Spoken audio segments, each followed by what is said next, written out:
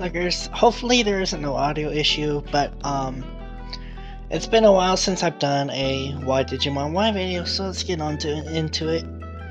First, we're gonna start off with the beginning, and I know a lot of these videos have been started in the beginning of the episode.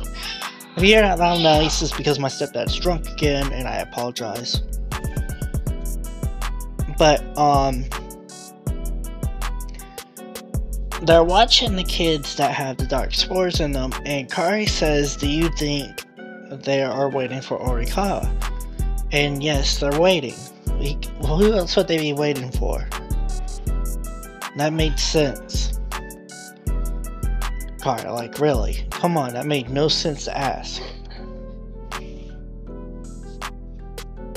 And a little bit after that, uh, Matt asks where Sora is, and Sora says he's with, she's with, not he, she's with Tai. And, um, Izzy tries to stir stuff, shit up. He goes, Are you sure it's okay to leave her with Tai? Because Sora did technically have a relationship with Tai. And Matt says, Come on, Izzy. I trust Tai. Tai's my boy. He knows better. And he said, I also trust Sora. And this proves why Matt is more mature and always grew more than TK, which I'll touch on in a minute or so. Let me look at my notes here. Uh, okay, yeah. Defining or recall, which he already showed up earlier, but he was on the building so he wasn't exactly there on the bridge, but they get on the bridge, Rick is there. They asked him why he put spores in him. He said the kids wanted you, which isn't a lie. Davis calls it a lie, but it's not a lie. But they wanted it only because they knew uh, Ken had it in him. And they all looked up to Ken. And Malo Myotismon, aka Orikamon being controlled by Malo Myotismon, basically took advantage of that and manipulated him. Then from there, when uh, Orikawa was saying that he was going to open the bridge to the Digital World. Davis call says, but he, Black Lord Greymon already at Yolei shushes him, and TK, a hypocrite, calls Davis a bacon house. Now, here's why I call him a hypocrite because he literally says we can jump him. He don't know that, and he's literally listening to them.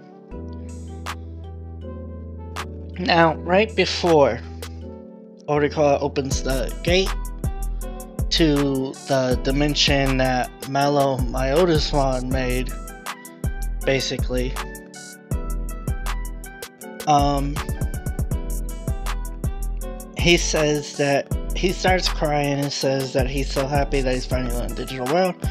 He said he wishes Cody's dad, he calls his dad, Cody's dad by name. I forget, I always forget Cody's dad's name because eh, too many names to remember. But he calls Cody that uh, Cody's dad's name and says he wishes he could have taken him with him. And Cody and the rest of the kids act surprised. Like, why are y'all acting surprised? Y'all already knew that Orikawa was friends with Cody's dad, thanks to Cody's grandpa. Like, that's a stupid thing to do. And now we come to the issue that I always have. After Malo Myotis reveals that he's the one that's been controlling Arukenimon and Mummymon and Orikawa, he basically comes out of Orikawa's body as a ghost and takes Orikawa's form for a minute. And he looks at Orikawa and says, What's the matter? Gatomon got your ton. Who the hell's Gatomon? It's Gatomon. I wouldn't even be upset if they used the Japanese name here and said Tailmon. If you can't say Gatomon, say Tailmon.